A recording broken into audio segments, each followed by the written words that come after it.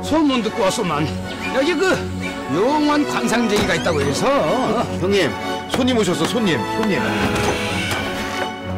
보안이 도합빛이 돌고 입술이 붉은 게 무단기가 있어 보이긴 한데 무당될 팔자는 아니고. 우리 집에서 일을 한번 해보는 게 어떻겠어?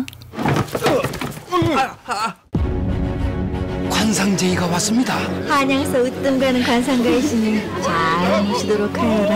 한양을 아주 그냥 다 가진 것 같소 선비가 되어 어찌 그런 일을 한단 말입니까? 내 관상으로 우리 집안을 이렇게 세울 것이다 네가 사람 속을 꿰뚫어 본다고.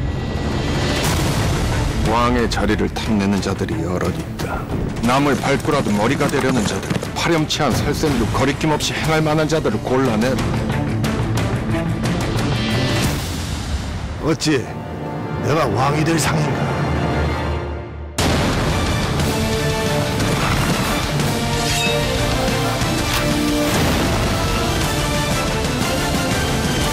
이런다고 영모를 막을 수 있을까? 상변하는 것이다